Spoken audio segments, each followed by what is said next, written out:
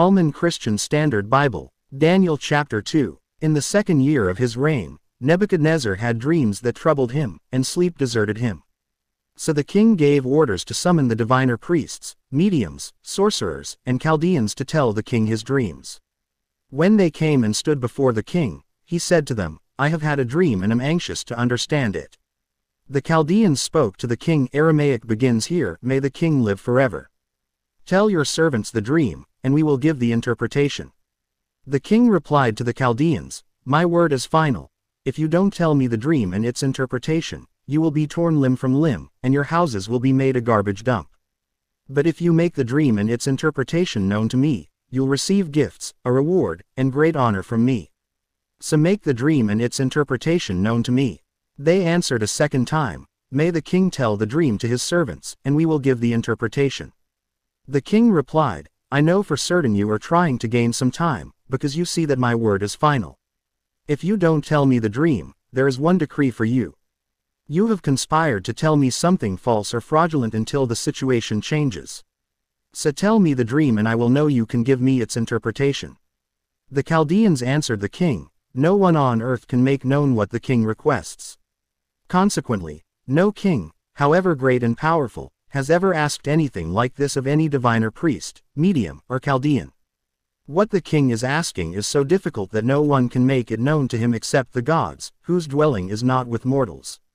Because of this, the king became violently angry and gave orders to destroy all the wise men of Babylon.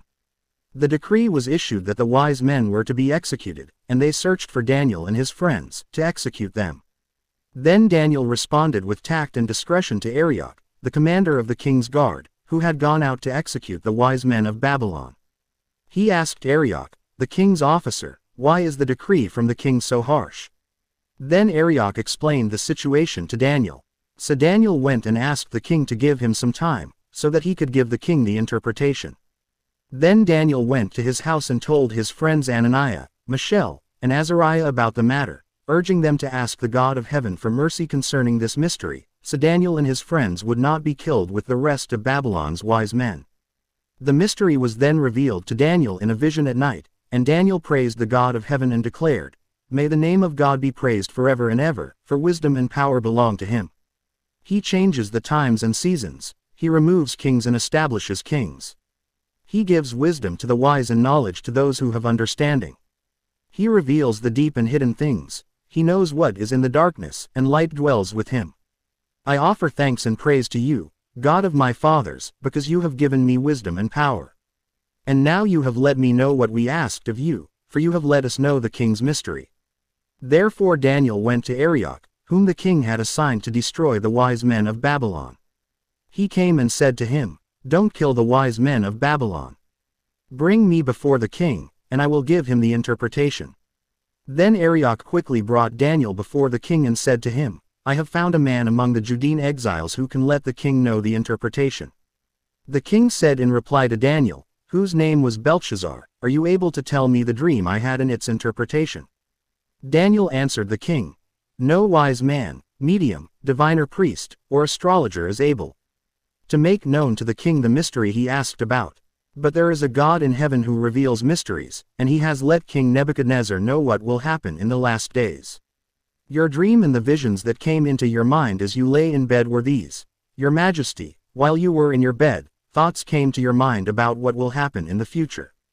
The revealer of mysteries has let you know what will happen. As for me, this mystery has been revealed to me, not because I have more wisdom than anyone living, but in order that the interpretation might be made known to the king, and that you may understand the thoughts of your mind. My king, as you were watching, a colossal statue appeared. That statue, tall and dazzling, was standing in front of you, and its appearance was terrifying. The head of the statue was pure gold, its chest and arms were silver, its stomach and thighs were bronze, its legs were iron, and its feet were partly iron and partly fired clay. As you were watching, a stone broke off without a hand touching it, struck the statue on its feet of iron and fired clay, and crushed them. Then the iron, the fired clay, the bronze, the silver, and the gold were shattered and became like chaff from the summer threshing floors. The wind carried them away, and not a trace of them could be found. But the stone that struck the statue became a great mountain and filled the whole earth. This was the dream, now we will tell the king its interpretation. Your Majesty, you are King of kings. The God of heaven has given you sovereignty, power, strength, and glory.